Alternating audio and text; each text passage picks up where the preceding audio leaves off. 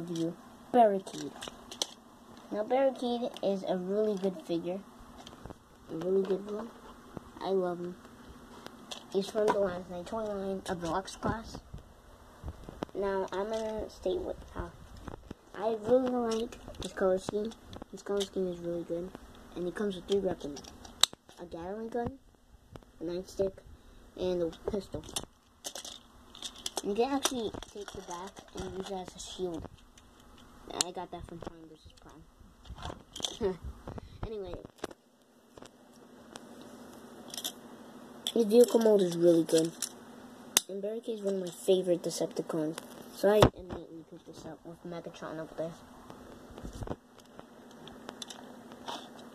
My problems with it are this. Basically, you can't clip, it doesn't clip anywhere. So when you handle the figure, it's going to be like this.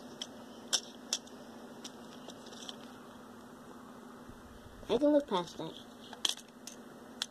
But I I don't I heard that the joints can these the arms can break, but I didn't know why they didn't just have the joints like in here.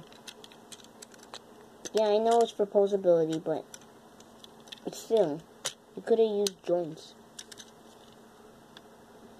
And I think this is kind of this is kind of lazy. But other than that, this figure is really good, and I recommend you pick it up.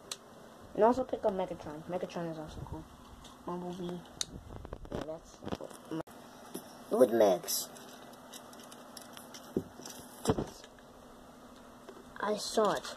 A dying knight gave it to a human, but it was too much CRF firepower. You let that talisman get away without the staff. There's no way we can get to Cybertron. I know you can lead us to the TRF. Hey guys, see